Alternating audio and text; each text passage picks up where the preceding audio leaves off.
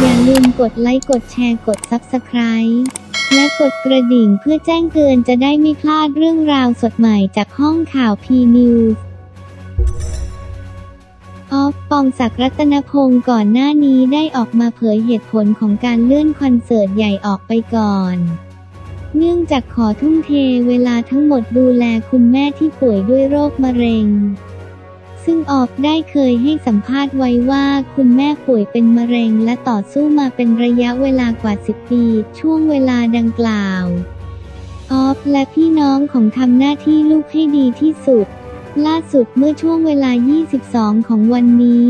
28 กันยายนในเฟซบุ๊กของออฟ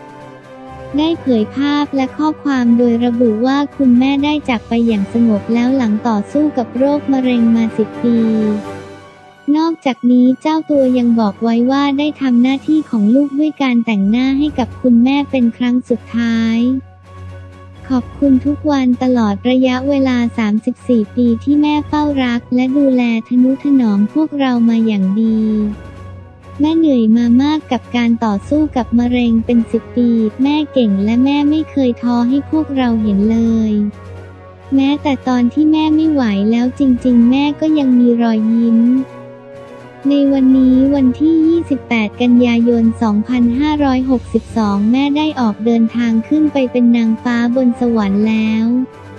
ดีใจที่วันนี้ได้ทำหน้าที่เป็นช่างแต่งหน้าให้แม่ เพื่อที่จะได้ออกเดินทางอย่างสวยงาม เหมือนที่แม่เป็นตลอดมา